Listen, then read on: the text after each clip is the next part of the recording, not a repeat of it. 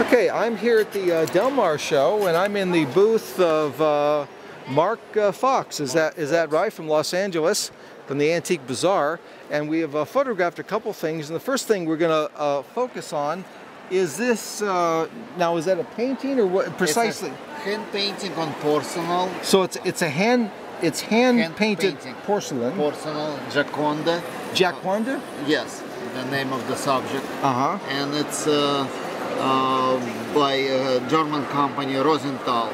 By the German company Rosenthal. And it's about 1930s. about 1930s. Now, doesn't that kind of look like the Mona Lisa? Isn't that kind It of is a Mona Lisa, It is the. Mona Lisa. It's And- another name, Gioconda. I see. And uh, how much do you want for it? Um, I believe $3,000. Three thousand dollars. And um, then we have this other item here. Austrian bronze. This Austrian bronze, and you see it's got all these colors. And was it weigh around five pounds or so? Uh, no, say? it's less. less than that. So how much do you want for this? Um, I believe $1,200. Twelve hundred dollars. Yes. Okay. Well, where, where did you get it? Uh, from another dealer. From another dealer. Okay.